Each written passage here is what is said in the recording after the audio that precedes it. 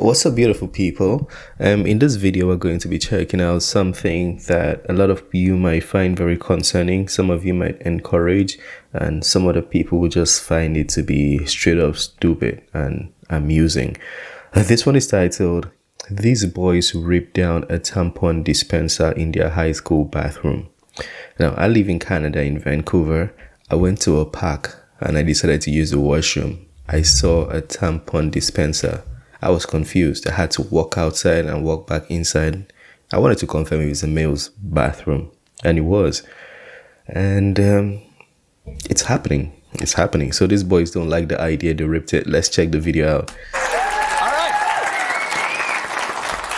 Boys vent frustration over products for menstruation. So should we demand an apology from boys who know basic biology?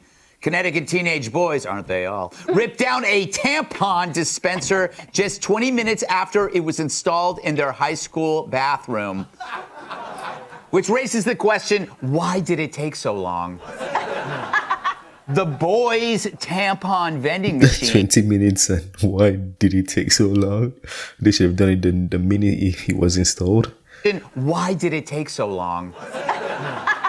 The boys tampon vending machine, and let's pause to appreciate the beauty of that wording, was installed as part of a new state law that calls for free menstrual products in at least one men's bathroom in every high school.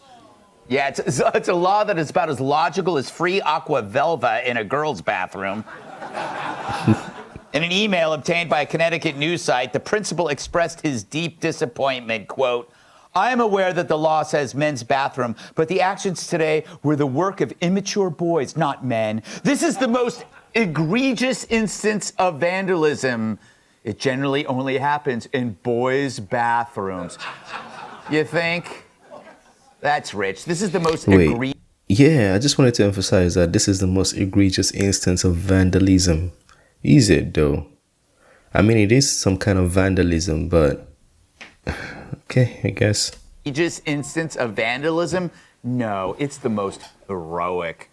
Fact is, they are boys, the and the only thing that upsets a woke lemming more is someone who's resistant to their brainwash. And adolescent boys are the least susceptible to woke. So it's not immaturity, it's common sense. Also,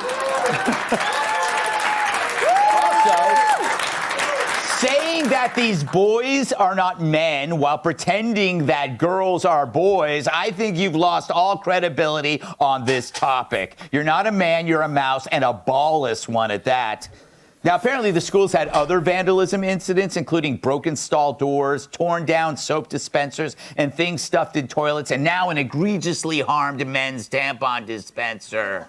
Well, what the hell do you expect? You put a tampon dispenser in a teenage boy's bathroom and you think it's going to make it through the end of the school year? You should be grateful it lasted one day. but, Mr. Minutes. Principal, maybe you shouldn't blame those boys for acting up. Perhaps it was just their time of the month. That's crazy. But the question is do girls or did women have this in their bathrooms? Did they have them? Do they even have them now? Because it has to be sufficient for the people who need them before you can even start putting them in a boy's bathroom. How would you feel if there were a tampon machine in your son's school restroom and he tore it down? I would be so disappointed that he didn't call me.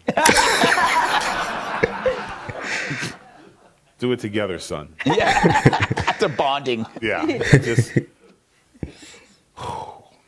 this is the world we live in. I mean, obviously, the first thing you want to say to the principal is "Shut up, Gavin." Uh, totally. The laws. It, it goes.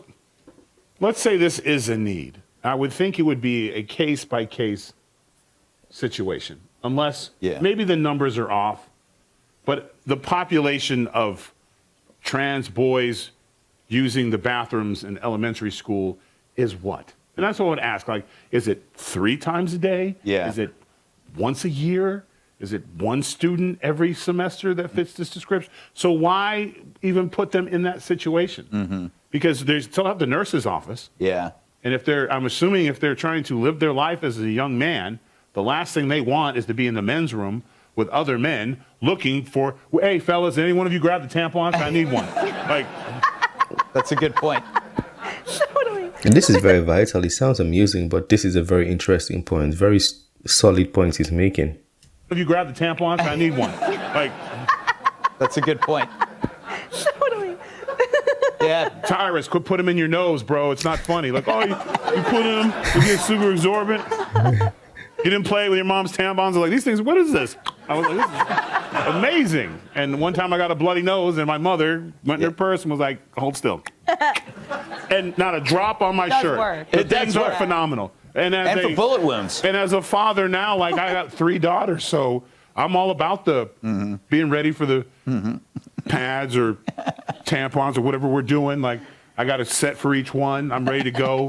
I'm in there. You don't got to talk to your mom. I got you. I carry one in my bag. So if I die in a car accident and you guys see a bunch of tampons in my bag, just to let you know, I'm an active father with daughters. I was not transitioning.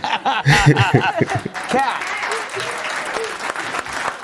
As someone who's often mistaken for a teenage boy, No, he's right. she's right. She puts on a hat, you It's know. beautiful, though. Yeah, you really can't. You really have no idea. Um, is what do you expect from a teenager? They destroy everything. Okay, well, but also as someone who used to clean bathrooms professionally mm-hmm, Yeah. at Boston Market, it's like it's not the fault of whoever ended up having to clean up this mess, which kind of sucks for the janitor. That's like, mm-hmm.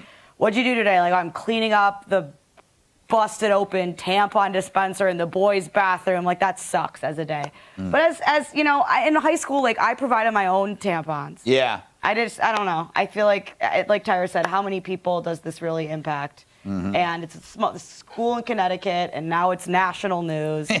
and uh, I feel like America just has so much money to even Canada too. Like you just have so much money to, you know, to do things.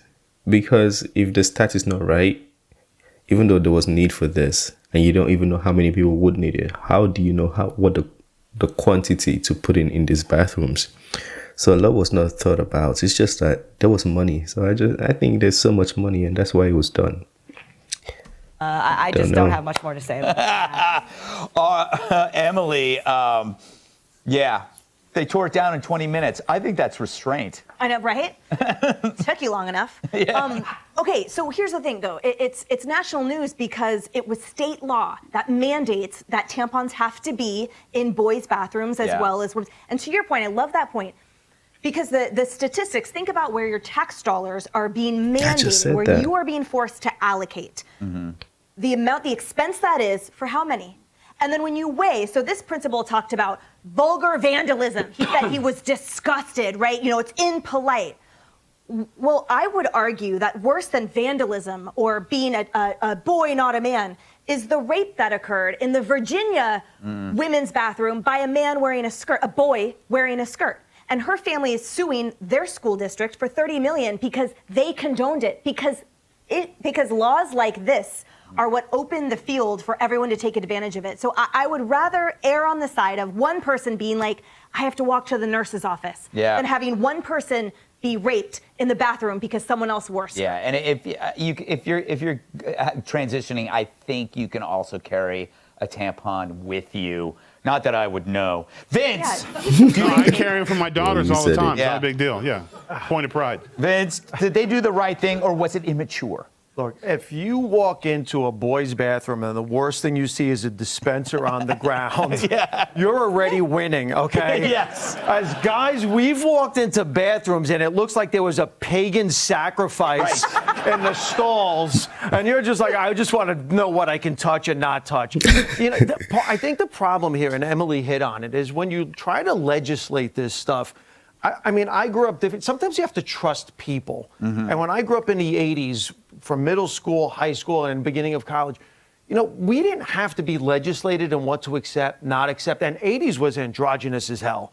Between Boy George, the bands where the guys were getting girls had long hair, were wearing makeup. None of us asked questions. We accepted everything. And girls were into George Michael, and we were like, ha, surprise, he likes me more. Um, you know, so, but you didn't have to legislate. And if someone did attack someone who was trans or gay or whatever, it was the, the toxic males that would defend them. Mm-hmm. So the problem is don't try to legislate this stuff. Mm-hmm. You know, just sometimes you just have to let things happen and let people gravitate to where they're going to go to. And you know what? Kids will work this out. You know, I Yeah, I that's think- a very good point. You put legislations around it, then things can self correct. And things do self correct, you know, things really do self correct. people should just follow my lead. I don't think I ever actually used the restroom in high school.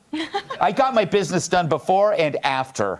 I was never going to sit on that toilet. Yeah, true. My parents, it was it was a must in my house. I still do it till today. I don't use public washrooms unless there's a very special situation with running stomach. Too much information, but yeah, um, in my house, my parents always advise you go in the morning, and then when you come back from school, you can do your thing. But we never used the public washrooms. Not for anything. It was an all guys school, so there wasn't even. Yeah, it was pretty bad. I don't want to talk about it. Wait, I'm on TV. I have Trauma. to. All right, coming up, libs start to panic if you destroy a statue that's satanic. Anyways, let me know what you think about that. Um, I don't, I don't know why they're putting these tampons on in the male's washroom. Do they calculate the usage? Um, also, when it, it goes bad, you have to put it back there. Is it cost effective to do so? Who's paying for it? Do men really need these things? Anyways, I'll just let this one slide. I don't I don't want to say so much. You guys let me know what you think about that. I guess the governments know what they're doing. I'll assume they do. If they don't, then I guess it's on them, but the taxpayers also have to suffer. Well, smash the like button and subscribe if you're new to the channel, and I'll see you on the next one. Peace.